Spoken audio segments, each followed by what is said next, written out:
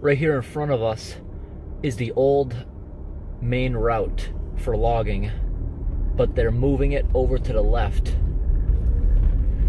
to avoid this massive hill that always washes out in the rain. We're gonna go look at. Here we are on top of the big hill, just covered in potholes. That's why the road is so wide. People just keep moving the road over to the side, running over the plants to avoid the potholes. Years ago, there used to be a giant gate right here.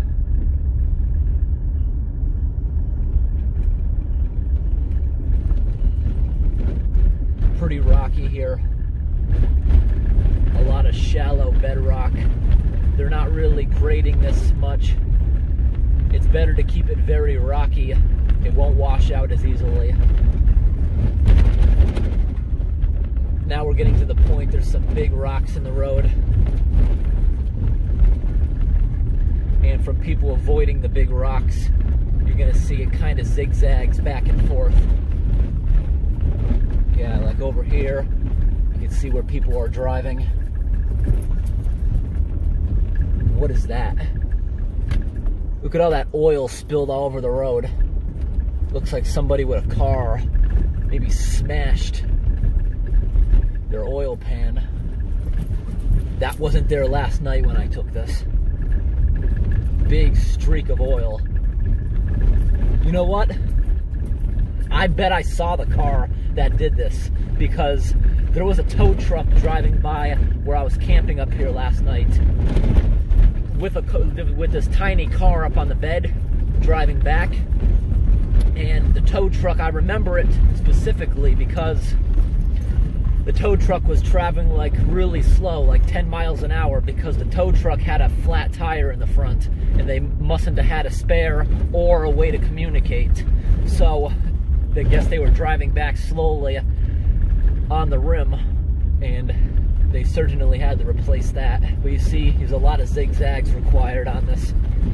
It's actually fairly good now. I took this in the spring, and it was, you had to crawl at like one mile an hour. It was so ruddy from the rain. They kind of fixed it.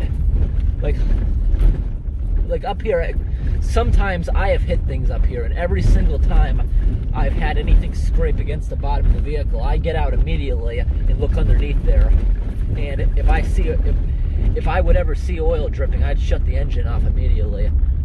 Apparently, whoever did that didn't. It looks like they went on for quite a while. Right here, there's a whole bunch more potholes on the bottom because this area here, judging by there's a big wetland here and some shallow culvert pipes. That probably floods right there. You can see it was kind of wet. And pretty soon, it reconnects to where we just switched off whole bunch more potholes.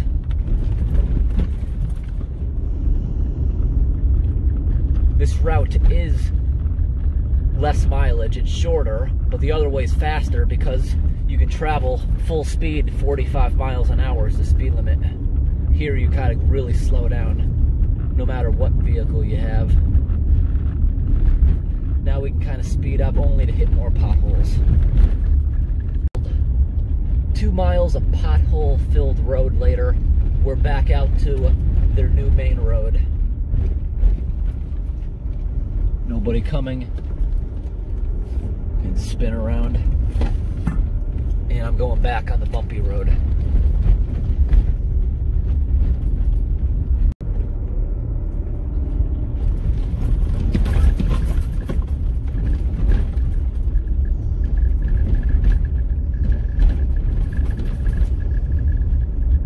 Not sure if the camera stabilization is allowing you to see how bumpy that really is.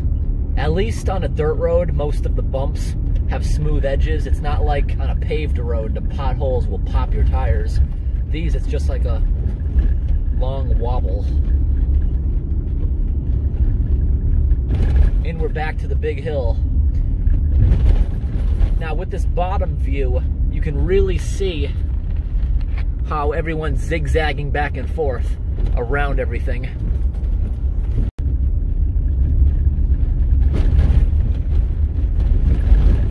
Going up.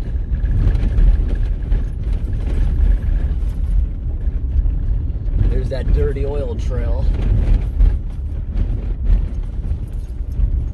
Let's follow the oil trail. What did the guy hit? Right now I'm running over some bedrock that would have to be jackhammered or scraped out of the way.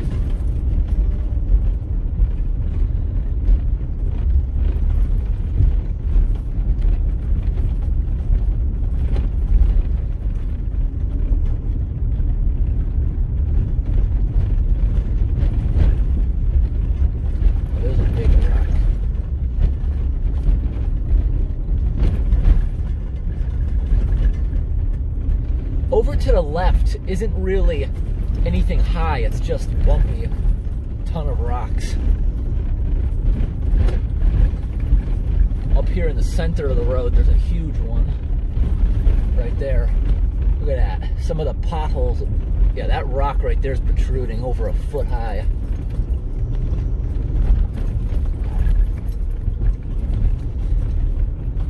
I must have taken this road eight times in the past week. Oh, look at this. This is looks like where the guy just let loose.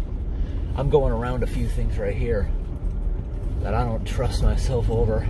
Okay, this is what the guy did. It started spilling right there, but a guy must have went flying over. You see that big high rock right there in the center of the screen? He must have hit that. That's the only high thing right here. And I'm going around it. sticking up. Yeah, it looks like something hit it. There's a scrape against it.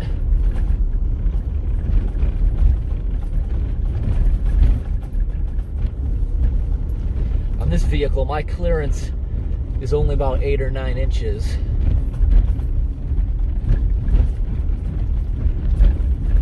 I don't take any chances with those bumps or those rocks.